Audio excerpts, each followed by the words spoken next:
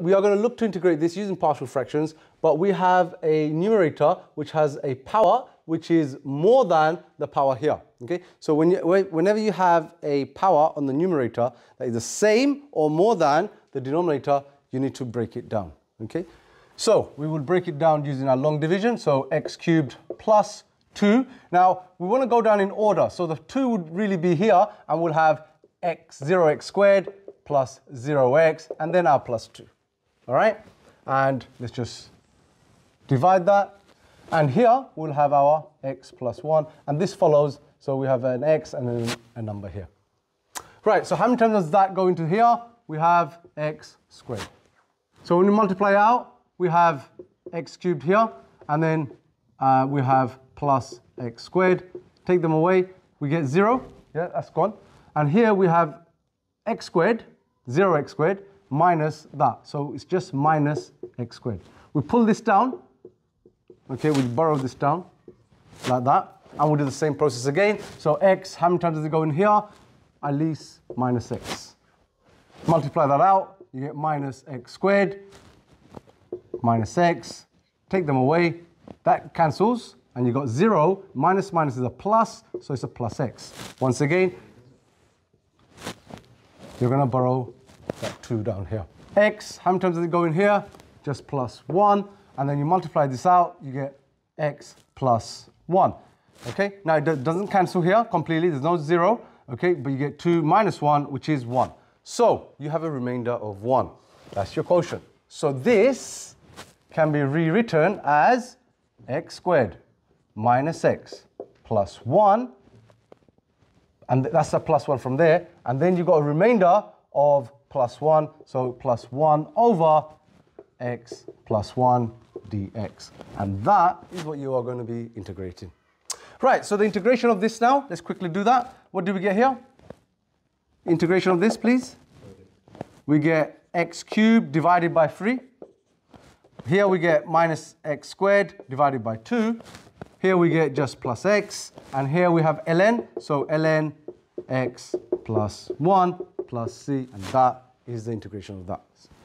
All right, now this next one is an interesting one. Okay, so we know that we have a top heavy because it's the same power.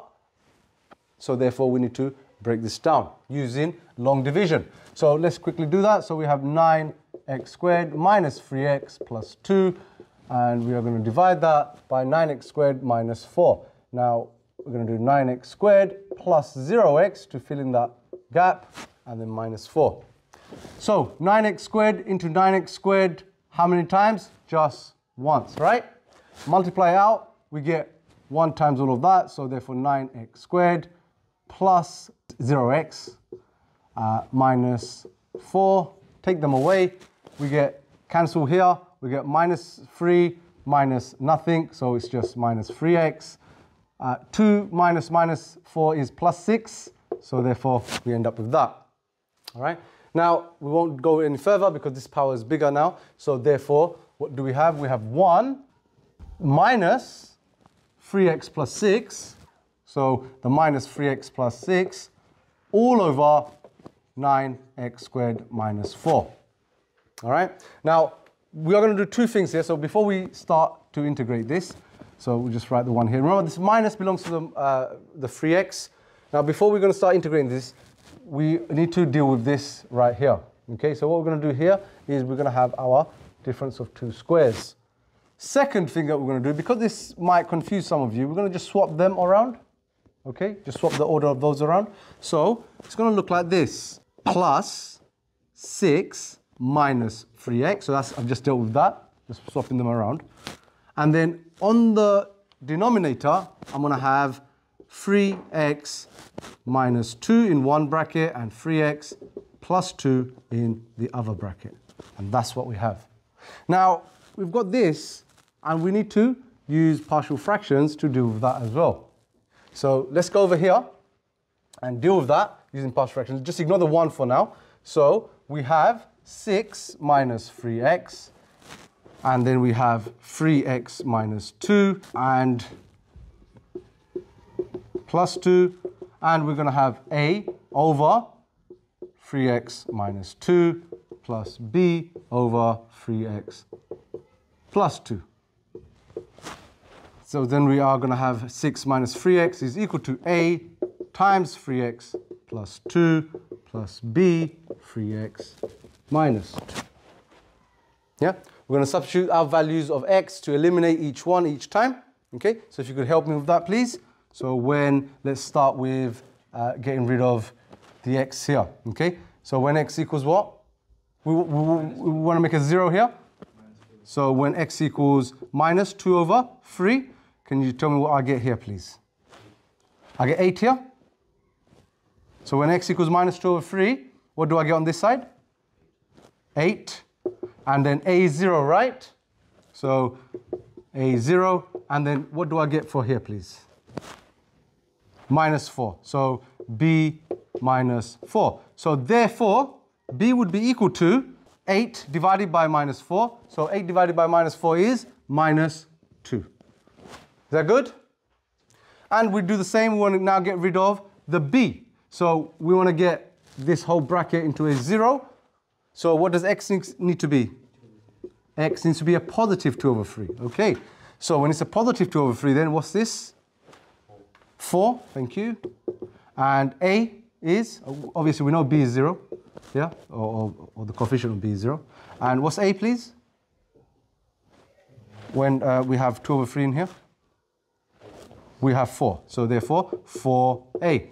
So therefore, a would be equal to 1. 4 divided by 4. a is equal to 1. All right? So now we can go back and replace this. So look carefully. We're going to replace the a with a 1. The b is a minus 2, so this would become a minus as well here. So there we have it, okay? So this is what we are going to integrate when we put it back in here. So let's do that. So we have 1 plus, we're going to look at that now. So 1 over 3x minus 2 minus 2 over 3x plus 2 dx. And this is now going to be integrated. All right, so we have to do all of that to get to this, and then we begin our integration step.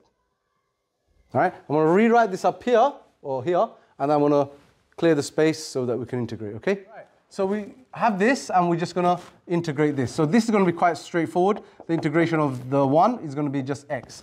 These two, we're just going to quickly check what we get by using consideration and reverse chain rule. So let's do this one first. So ln 3x minus 2, so dy over dx. What do we get when we differentiate this? So we get 3 over 3x minus 2. Okay, so we don't want that 3 there, do we? We need to divide by 3. So therefore, this is going to be divided by 3. So we're going to get here plus a third ln 3x minus 2. Do the same thing for this one. So y, we're going to do our consideration here. So y is equal to ln uh, 3x plus 2 and dy over dx would be 3 over 3x plus 2. If you look at this and what we have, we want to get rid of that 3 and we want a 2 in that place. Okay? So we're going to divide by 3 times by 2, which is the same as multiplying by 2 over 3. This one. Okay? So it's going to be minus 2 over 3 ln 3x plus 2 plus c. And this is your final integrated answer. You can, of course, simplify this as well if you wanted to or if the question required you to do that. So if you want to go ahead and do that step, go ahead. So this uh, covers integration using partial fractions when you have a top-heavy fraction. See you in the next lesson, guys.